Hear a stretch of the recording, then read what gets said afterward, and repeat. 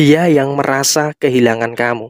Assalamualaikum warahmatullahi wabarakatuh. Salam Rahayu temanku dan sahabatku. Terima kasih masih setia di channel Zodiagarian Satu-satunya di Indonesia Channel yang paling aktif dan responsif Menanggapi request, konsultasi, dan pertanyaan dari teman-teman semua. Dan pada kesempatan kali ini saya akan bahas general reading dia yang merasa kehilangan kamu.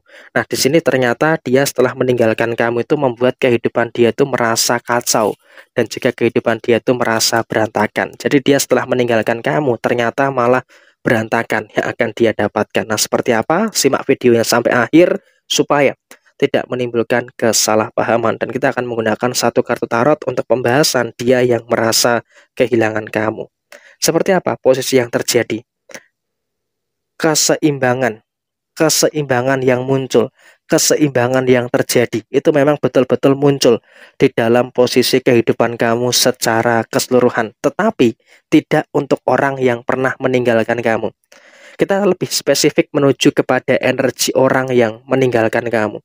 Ternyata kehidupan orang yang meninggalkan kamu atau mungkin yang pernah menyakiti kamu dan kemudian saat ini meninggalkan kamu pada posisi saat ini dia berada dalam kondisi yang tidak baik-baik saja. Karena apa? Keseimbangan di dalam kehidupannya itu sedang terjadi. Tidak terjadi keseimbangan. Artinya apa? Ada beberapa hal-hal yang kacau, ada beberapa hal yang berantakan. Sehingga apa? Dalam perjalanannya sampai dengan saat ini kamu melihat video ini, ternyata orang yang meninggalkan kamu ini merasakan kehampaan, merasakan kosong secara perasaannya. Karena apa? Dia telah meninggalkan orang yang betul-betul bermanfaat bagi dia gitu loh, yaitu adalah kamu. Sehingga apa? Dia di sini pun juga sudah mulai timbul beberapa penyesalan-penyesalan yang muncul. Dia sudah mulai merasakan ada beberapa penyesalan-penyesalan yang terjadi di dalam diri dia saat ini. Kenapa? Dia telah meninggalkan kamu dan sebagainya.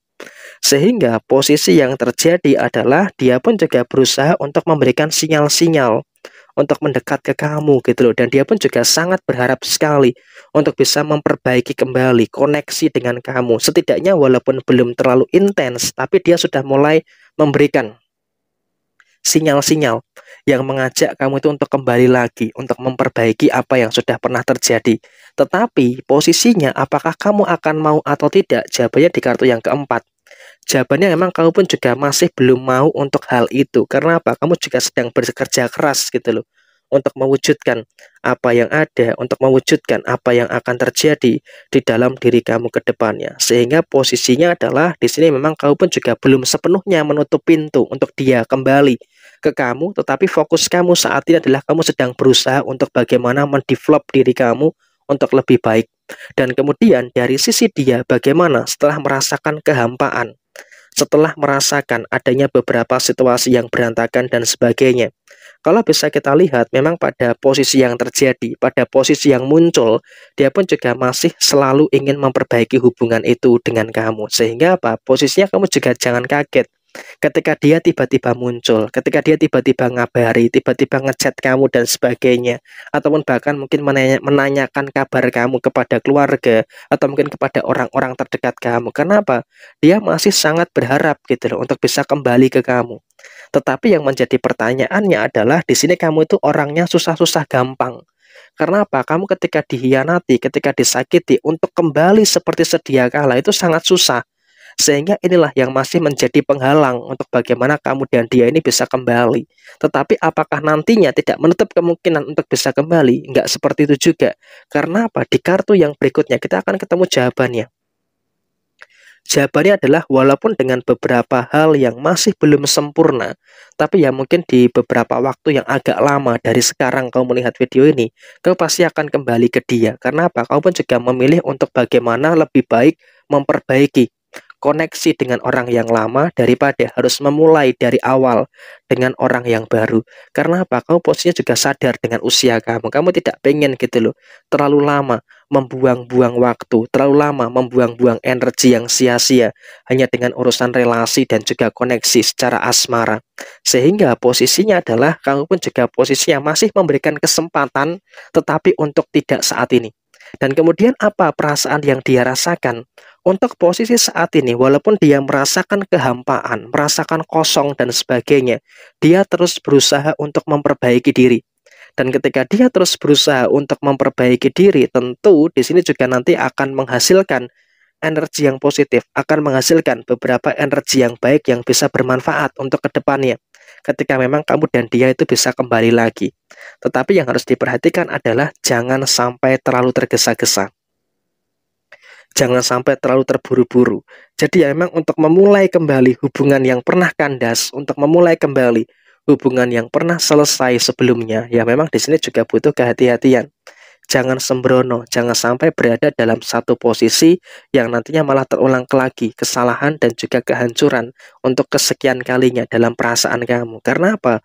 Prioritas kamu saat ini bukan soal dengan siapa kamu akan menjalani hidup, bukan soal dengan relasi dengan siapa kamu akan memperbaiki hubungan itu, tetapi kamu harus bisa untuk menjaga perasaan kamu dulu.